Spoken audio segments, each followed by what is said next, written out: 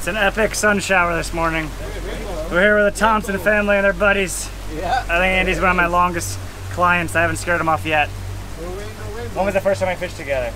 Uh, 11 years ago. 11 years we've been fishing together.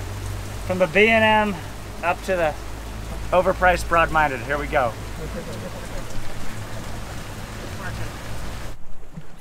Birds are working, they're on mahi. Oh boy. oh boy, he's on the minis underneath the boat.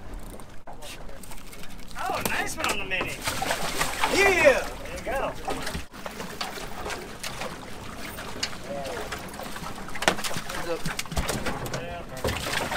Oh, you got one on there too. Okay, good job, guys. Good job. More swimming up. There might be more fish here, guys. Might be a big school night here this morning. Perfect. Good job. Don't let this head out. Pull your tip down lower. Good job. Nice work. Yeah, just put like underneath it so you're not grabbing like that. Perfect. Ready? One, two, three. What's the weather update? Is it windy? A little bit. Storms are brewing.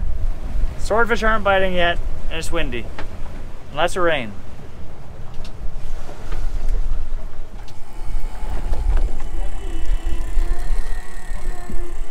We hooked up. Rain. There's rain spots on the camera lens. We want this fish. Commemorate 11 years of fishing together. Something ate. I don't think it's a swordfish, but something ate it. So That's good. Keep, if it could, marlin could come up jumping or anything. Keep your eyes open out there. Something ate the rod going down, 200 feet down, no telling what it is. Hopefully not a barracuda. It was a thousand feet up, but it was probably down here three or four hundred feet when it ate it. It just it stopped it from going down. No telling what it is. No telling. What do you think it is? Saltwater fish? Of course it is. Mermaid. They said it ain't no fluke, it ain't no codfish. I got no uh, idea what it is, though. Hopefully it's something cool. Ate the bait going down with a 10 pound lead on it, you know, fast tuna, falling. tuna, tuna, tuna. He was on top, but he's digging now, no telling. Oh boy. Tuna, tuna, tuna, tuna. Big eye. It's not a fluke. Big eye. Got some size to it, whatever it is. It ain't no 10 pound barracuda doing that. This could be something good, guys. This could be something big. This is what we want. So the fish is taking line now. No idea what it is. Could be anything. Now here in 1572 right there. Been a long day. We had two swordfish bites. It's kind of cheap. Seems small. We didn't hook them, but 417. Caught a few mice this morning, but nothing since. So it's been about eight hours since we caught anything. Maybe eight and a half. Oh, white marlin, white marlin, white marlin. White marlin. Awesome.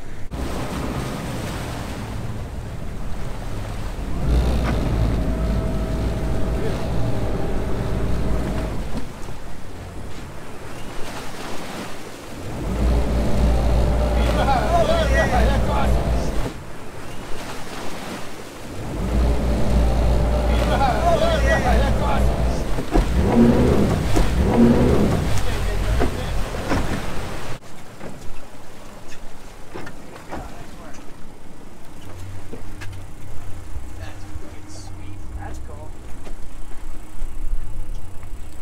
That's pretty cool, guys. Look at that jump on it. That's great.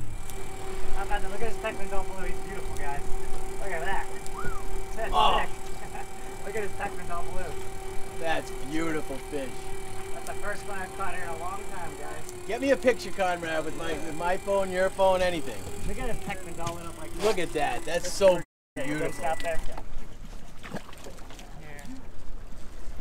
Look at that. Beautiful. Nice work, guys. That's awesome. Oh, that's so pretty. lit up. Elusive white marlin. Lift them up with their hand a little bit. Just gotta pull that way. I'm just gonna put a tag in them. And seven years is the calling here. I think seven years.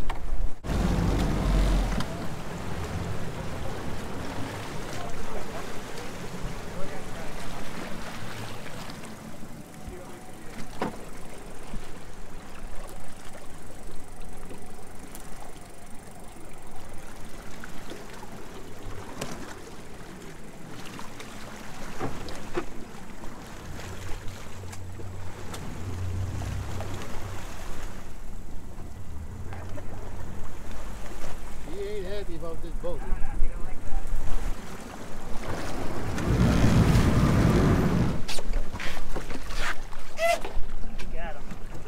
Um, we're gonna grab a quick picture. Yep. Yep. Alright. Tag is in, white marlin off Islamorada. A very unusual and rare catch. I've only caught a few here my whole life and seven years since the last one. That's awesome.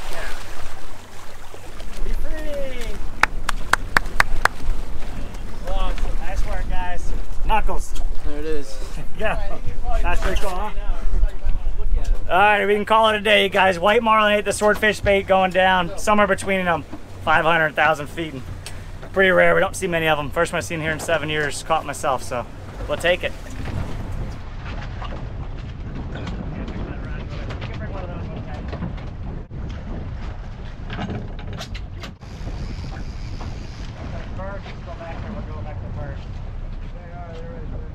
Mahis. Yeah, that's her. Oh, jumper. You want, yeah, grab that one out of the way. Mahi mahi. Right in one shot like a cannonball. Not bad. Duck bleed, duck or bleed. Ah.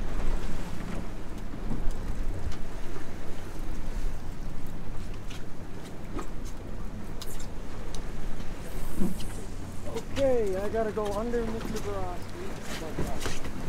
There's a decent one on the mini rod. The mini rod's got a nice one.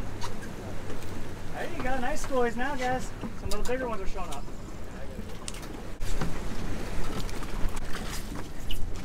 Angry bull, angry bull. That's an angry one, a little bull nest, a little bull wrangler. All right, so we got a white marlin earlier, no storage. We had two cheap bites, couldn't keep them on. One came off. Oh, we got one on the mini rod. So this is our new mini rod. It is out now. It is up for sale. Yeah, wind them down there and we'll swing them in.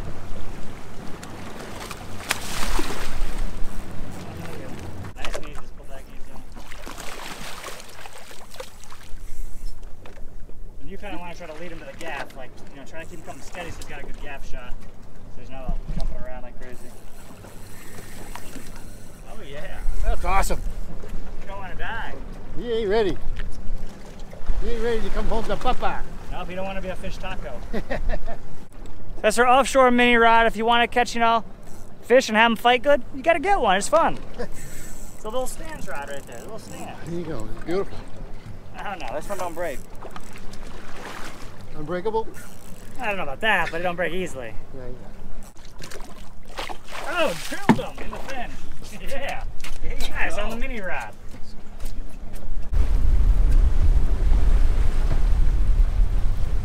Fresh squid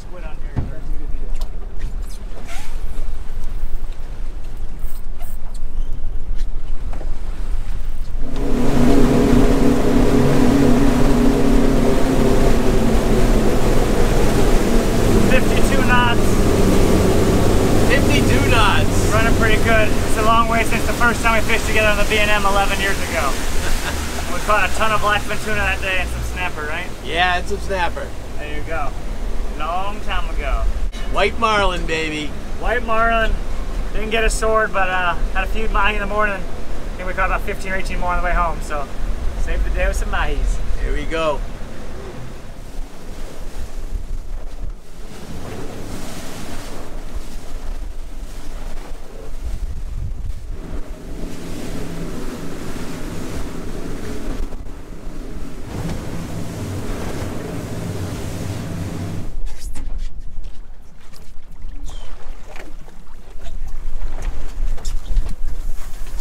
Had a blackfin on there. Get tangled up. We lost him.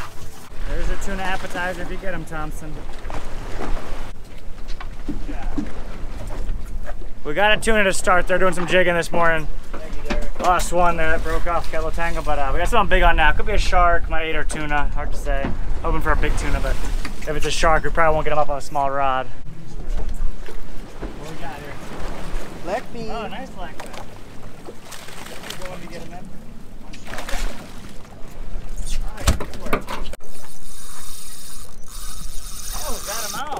screaming.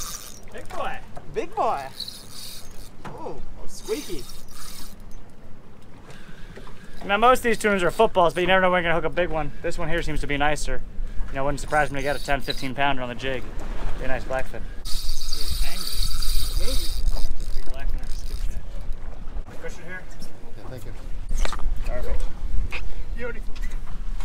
And that's a cushion right there, you guys, from Lunacy. Every boat should have some. Saves are growing. Put on a metal gimbal there, whether it's using a spin rod or conventional rod.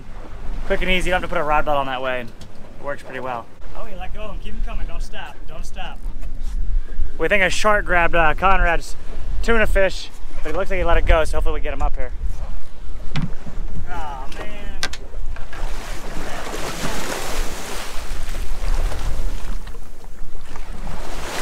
Got a nice tuna, too. Oh, it's gonna be my 15, 20 pounder. Okay, 15 pounder right there, no doubt. Ah, Uh, win some, you lose some. Oh, hold, hold right there, hold it. It's a nice blackfin. Nice blackfin, guys. Yeah, sucker. Look at that. Nice blackfin right there, guys. Blackfin of a lifetime. So a shark devoured his. I mean, there's nothing left but the head. You can throw that thing over. And these are actually nice blackfins on the jigs. You know, that's 14, 15 pounder. A shark actually grabbed them there. You can see that. We had them right there. That might have been why we caught them too. The sharks slowed them down, but usually they eat them all the way. And a lot of sharks out here.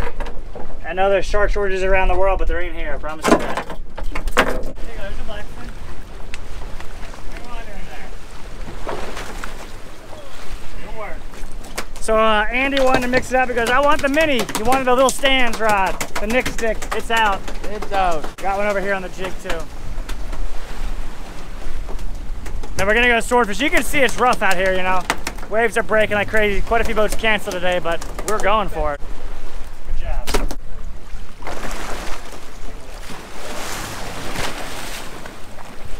Bring him in. Hang on. Can one of you guys grab the tail of this thing? Lean over and grab the tail. It's all wrapped up. Okay, lean over on your side, grab the tail. Don't lift him out, you're gonna break the line. Okay, It's sorry. wrapped around his mouth. Lean over, grab the tail. Good grab, good grab. There you go, on the mini. On the mini. All wrapped up there.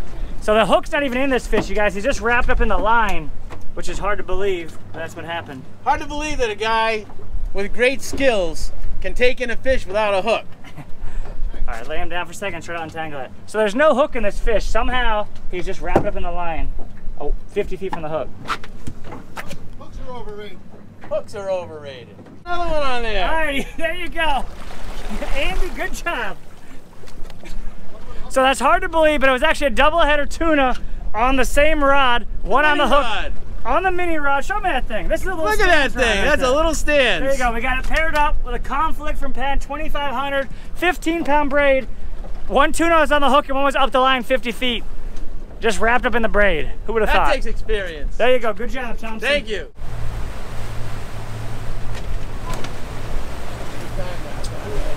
Doubled up, double, Double up. double header, double header.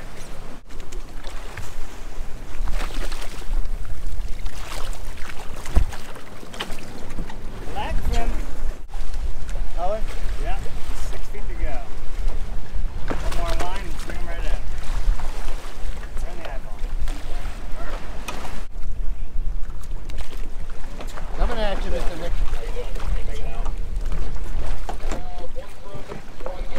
That's our tunas. Time to go try to find a sword. Day two. Marking some bait. Rainstorm just passed through. We just hooked up 132 right now. Trying to catch Laura. They got a nickname for this big swordfish. The old high school crush, I think. we'll see what happens there. Andy saw the bite. I didn't believe him. Yeah, there was a bite. Derek's on him. Got a lot of tuna this morning. You know, we got a white marlin a couple days ago and quite a few dolphin, but we really want to get a sword. Keeping our fingers crossed. We got some line out. There we go. We got some line out there. We got some line out there. That's our Stanz swordfish rod. Got that one paired up with a Winthrop butt. The new uh, T10. So it's got 10 positions you can adjust it to. So, got those up for sale now. See what happens here. Keep your eyes open. Go faster, go faster. This thing's getting near the surface, guys. Could be the big dog. This is a this is a big fish.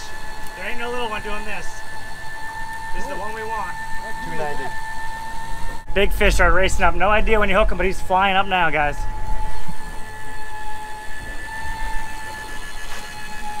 There he is on top. There he is on top. Big fish, you guys. Big fish.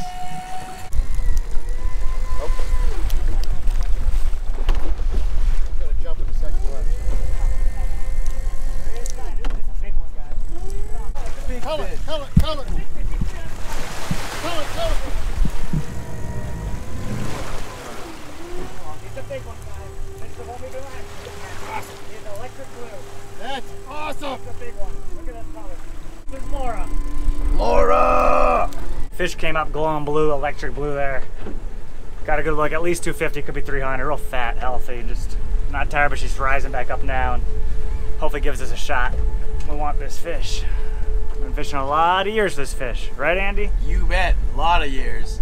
This is a young guy who beat his brother by one pound. Yep, years ago he had a 211 when he was, how old was he, like 10 or 12? He was 10. 10 years old, hand cranked like a 211 pounder.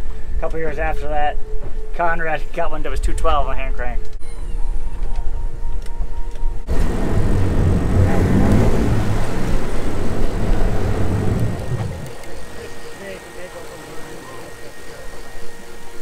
Fish went back down over 600 feet, but coming back to the surface now, taking us out deep, out to 1900. You can see right there. Color, color.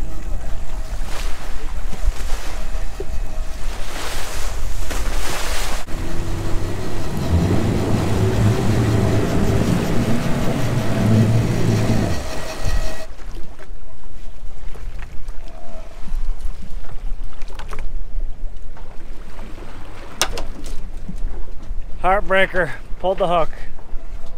Hour and 40 minutes. Not the way we wanted to end, but it happens. Good move, guys. Alrighty, so we're licking our wounds. That big sword that got away, but that's that's fishing. You, know, you don't catch them all, especially swordfish. A big one's tough to catch. Hook probably pulled it out and foul hooked it, rehooked itself, and didn't stay in. But stopped on some birds here and got some mahi on, so it ain't over till it's over. See some others? Oh yeah. There's a bunch of them back there. Did he eat me? Don't fall on this fish. Oh, we got him on the mini. Oh! On mini. Tight Yeah. sucker! I can't see your. Wow, that was quick. I don't mind it. This hatch is gonna be open. You guys don't step in the hatch. Swing them in there, Conrad. Still another. Eat the school.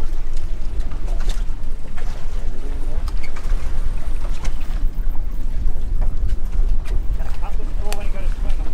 You can just hold that one hold it if you want. There you go. Now open up your bail. Open up your bail. Okay, put that one up on your on your rod. I have it in the uh, You do? You have two in your rods? Yeah. Fingers in there.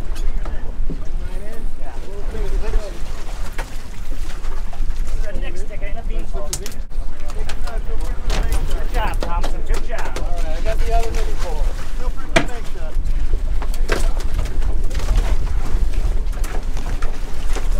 Hey, there we go, big pole. There you go, perfect. Good shot. Ah! On the mini rod. Coming back, coming back. What we got on here? I don't know. It took almost all of it. Took almost all the string. Do one, two, three. Good job. There. Nice little skipjack. That's probably what we got over here too, skipjack tuna. Perfect. Now you're talking. Ready? One, two, three. I got you. You're good. In the cooler. What flavor we got? Yep.